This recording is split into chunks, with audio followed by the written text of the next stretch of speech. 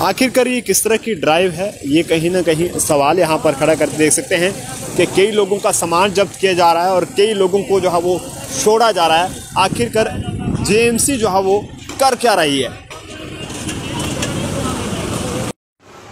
आप लोग देख रहे हैं, जम्मू परिवर्तन मैं हूँ आपके साथ नरेंद्र सिंह ठाकुर। फिर से आज जेएमसी की ड्राइव चलते हुए और जम्मू के जानीपुर की तस्वीरें यहाँ पर आप देख सकते हैं कि जेएमसी द्वारा किस तरह से रेडियो को यहाँ पर उठाकर जो है वो जब्त किया जा रहा है।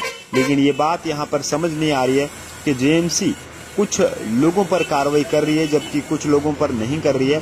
क्या कुछ लगता है आपको इस पर अपनी राय जो है वो कमेंट बॉक्स में ज़रूर दे। इस तरह की कार्रवाई को लेकर कई जगहों पर लोगों के सामान को जब्त कर लिया गया, लेकिन कई जगहों पर लोगों को जो है वो छोड़ दिया गया।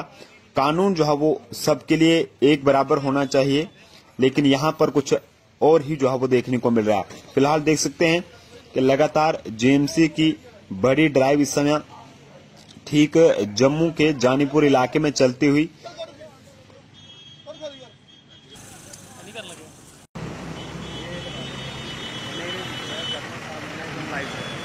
तो आपने देखा कि जम्मू परिवर्तन के कैमरे में जो तस्वीरें कैद हुई हैं, जिसमें आप देख सकते हैं कि कुछ रेडी फड़ी वालों का सामान जब्त किया गया और कुछ को जो है वो छोड़ दिया गया।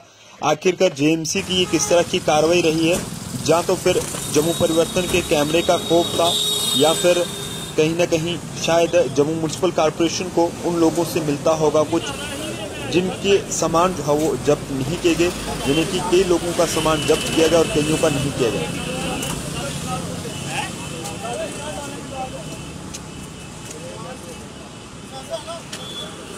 फ़िलहाल जनता अपनी राय कमेंट बॉक्स में ज़रूर दे कि आपका इसको लेकर क्या कुछ कहना है।